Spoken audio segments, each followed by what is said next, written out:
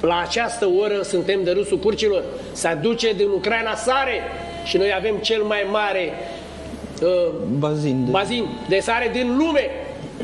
Am închis pe ale noastre și aducem sare. Olanda are 45.000 de kilometri pătrați și are 8 milioane de bovine, iar noi avem 234.000 de kilometri pătrați și avem sub un milion de bovine. Ce vine comunitatea europeană să mă sancționeze pe mine în funcție de procentaj? Vine cei din Polonia, îți încarcă mărul de la Voinești cu 80 de bani și ți-l trimite în școlii din România cu 4 lei.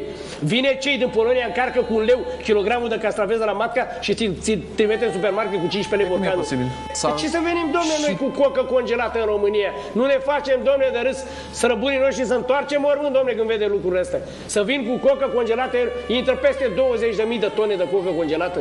Păi e posibil în țara românească, când noi am fost gândarul Europei, de ce? Pentru că acești oameni care ne conduc nu le pasă de noi, domnule, asta e problema. Nu le pasă. De ce să viu? De ce să nu procesez eu mărul în țara mea? De ce nu dați o lege în care școlile din România să ia numai măr românesc?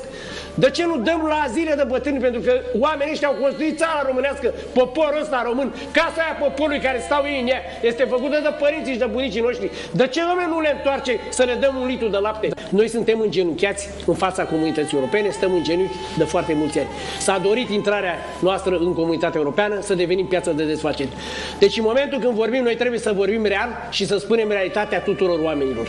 Noi suntem piață de desfacere. Atâta timp cât un sector este în dificultate, de exemplu lapte, și vine 65% din produse lactate sunt în afară, cum să mai meargă acest sector și cum considerați că funcționează?